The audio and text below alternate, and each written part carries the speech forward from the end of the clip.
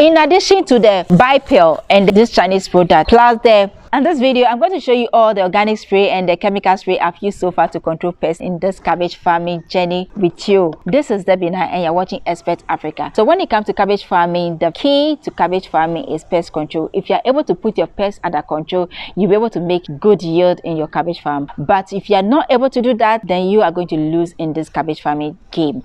So I'm going to share all my experience with you and show you all the chemicals I have used so far in this farming, in this cabbage farming journey that I started some months ago. Anyway, if you decide to use any of these chemicals, you can consult your, your agronomist first before you, you decide to use any of the information I'm going to share with you. Let's get started. So the first and ever pest attack I experienced in my cabbage farming was the aphids. It was one of the difficult pest attack I experienced because I, I wasn't expecting that. It's a soft-bodied insect that normally hide under the leaves of the cabbage. So you always see it at the back of the leaves like this and they are a lot. So whenever you you see that your your leaves are folding and uh, the plants are not growing check behind your your your cabbage leaves and you see them under the leaves or hanging under your leaves under leaves. And what they do is to do to suck the sap of the cabbage leaves and affect the the growth of your cabbage. So i experienced that three to four weeks after I finished my transplanting and it took over the whole farm. Almost all the crops were affected and it was something very difficult I had to deal with. I tried so many chemicals but it seems it was not working. Anytime I use I use the required uh, dosage uh, with the water it seems it's to me it seems it was not working and when I reduce the quantity of water and I, I increase the quantity of the or the chemical it what it does is to burn the crop and at the same time destroy the the insect so at the end of the day that didn't also work for me. I tried so many ways. At, at, at this time i felt like giving up on this uh, plant or this this farm because it was too much for me. Almost all the crops and they were not just um, growing. This is too much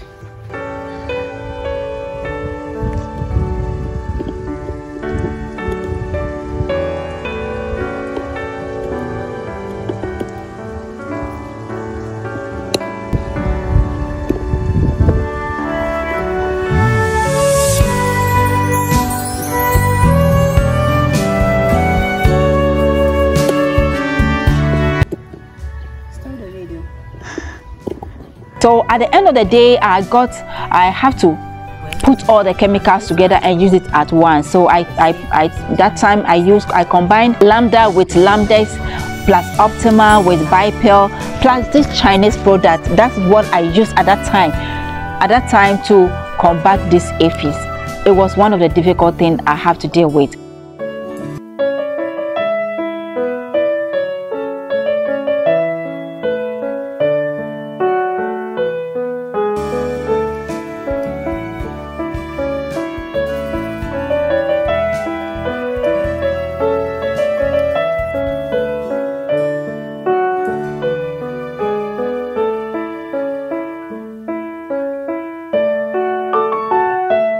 then the next pest attack that i experienced was the cabbage worm. This worm what it does is to to eat the leaves of the cabbage and also create holes in the cabbage leaves so whenever you start seeing that that means you are experiencing you have cabbage worms in your farm and you have to find ways and means to deal with that. So with that i also started um, using different chemicals plus the lambdas. And that was when i also introduced this chemical the the abamet and then this chemical the e-master in addition to the chemicals i was using so sometimes i put all the chemicals together and i i, I sprayed it one or sometimes i i do it maybe three chemicals at a go. And so far that's what i've been using to control the cabbage worms. And the next pest attack that i was i started experiencing or i'm still experiencing is that before we continue our farmland is still available. You can do coconut you can do palm you can also do maize um rice cashew plus other crops there. So if you are planning to go into farming and you don't have any land yet you can get in touch with me. I'll take you through the process. A very simple process. You get your own and you can start preparing your land this time. From november december you, you have to start preparing your land down. So that by next year uh, next year february or march you can start your planting so that you can be able to take advantage of the rains. The leaf miners this is quite difficult. You can see from these leaves you see uh, this white white thing sometimes they they create tunnels on the leaves. If you start seeing something like this some whitish things on your cabbage leaf then you're you're having leaf miners attack on your cabbage crop. And and that is also quite difficult to deal with. So with the leaf miners i remembered i had a neem oil some time ago. So i have to go back into my things and then look for my neem oil. And i, I added it to the chemicals i'm using. And that's what i'm using to combat the the leaf miners attack so far. So this is the neem oil i i got. This i got it for some time ago if if you ask me where i got it i won't I, I won't be able to tell you because it was somebody that gave it to me and i was using it to control pest attack when i was doing tomatoes farming here. So i combined that with the chemicals and then i i started using it to control the leaf miners. The next pest attack i experienced was the flea beetles. This pests are also very tiny and what they do is to eat the leaves of the cabbage leaving holes in the leaf just like the cabbage worms. And it makes your cabbage look unattractive and also prone to diseases. So with that one too i also use some of these chemicals. I i combine i also got the I also got this chemical, the Warrior, in addition to these chemicals to use to combat all this um, this pest attack. These are the pest attack I've experienced so far in my cabbage farming. The next attack I had was the cabbage disease that's the black rot. This rot often comes either light brown or dark brown in color. It affects the head of the cabbage. And so whenever you start seeing something like that that means you have a, a, a black rot and you need to control it. With that if you notice one or two of your cabbages experiencing that what you have to do is to um, take it off from the farm before it spreads it spreads very fast. It's called bacteria and fungi. So with this black rot i got a fungicide and i decided to use it to control the black rot. So so uh, this is a fungicide. I added to the chemical the the warrior the neem oil. Then we also have the abamet and please don't ask me. I have a lot of chemicals here.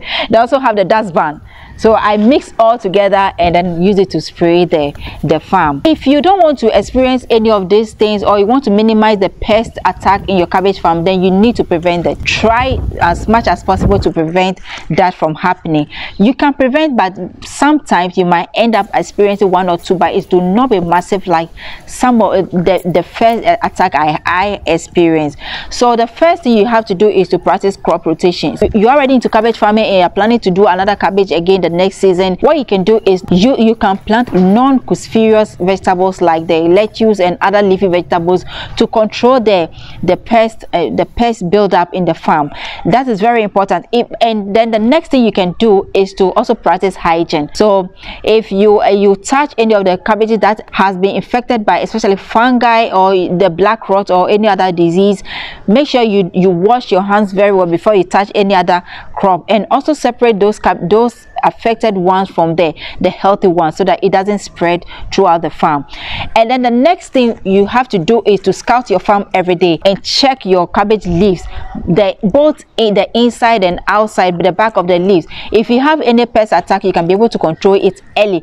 And then if you also find any of these cabbage worms you can kill them with your hands before it spreads into the entire farm. Another thing that you can use to prevent according to the research i made was uh, to plant companion companion crops in the cabbage farm like the uh, like some onions garlic and then other um, plants within the cabbage farm to control or to deter some of the pests away. So now let's look at some of the organic spray i use in this farm. So the main organic spray i use was the the neem oil. This is the neem oil. So you if you know any some anyone that is into organic farming you can ask the person to um, help you locate some to use if you want to use. There are other organic sprays in the market that you can you, you can get if you don't want to use neem oil. There are other organic spray that you can get to use in the farm. If you are not getting access to the organic spray then you can fall on the chemical spray to use. When you get any of this chemical spray you have to read the label well before you start applying. And then also read the the, the instructions well before you start applying especially uh, those ones meant for cabbage you know.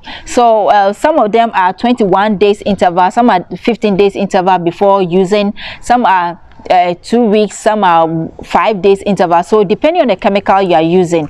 Okay so if you know that you're going to um, have you'll be harvesting this crop in the next five days make sure you use a chemical that has less like two days interval or five days interval. But if you use a chemical that has 15 days interval that is that will not be ideal for the public or that will not work for the for the consumption. That will not help consumption. So if you're using a 15 days interval um, spray that means that when you um, the, your next day of harvesting which should be in the next 15 days so that it will not, not harm anyone. In cases where you don't have access to the organic spray then you can fall on the chemical spray like i said. And the timing should be in the morning early in the morning or late in the evening. That is when you can be able to trap most of these pests. In using the chemical spray try as much as possible to use protective gears like the the gloves you use the the nose masks you also use the goggles if you have some in handling some of these chemicals. So these are the chemicals i have used so far. I've been using Dursban and i'm also using abamet and i'm also using warrior super yeah warrior super. And then this is an organic spray. That's the neem oil. And i'm also using e-master. Apart from these chemicals i'm i'm out of um optima lambdex and lambda. Been using that one too in addition to this one. So the combination it just comes by inspiration. Sometimes i, I combine this uh, three to get three different chemicals together. Sometimes i combine four chemicals together. In addition to the bipel and then the, this chinese product plus the this fungicide to control the black rot in the farm. So before this high pest attack in this farm i was spraying almost every two days. But when i noticed that the, the population was becoming too much or it was increasing i decided to spray every single day. For this whole week i've been spraying every day to put the pest pest under control. And i uh, from from what i have seen so far the population have reduced. So if you're also experiencing any pest attack in your cabbage farm what you can do is to spray almost every day till you put the pest under control. Then you can be able to make it go back to two days interval or three days intervals okay so if you want to excel in cabbage farming the key is your pest control. If you're able to put your pest under control you are going to win in this cabbage farming journey. But if you're not able to make it that is going to be a financial loss to you. If you have found this video helpful don't forget to give me a big thumbs up by liking the video. Comment in the comment section and share this video with families and friends who needs this information. If you have any question or you want to share your experience with cabbage pest control let us know that in the comment section. Until next time happy cabbage farming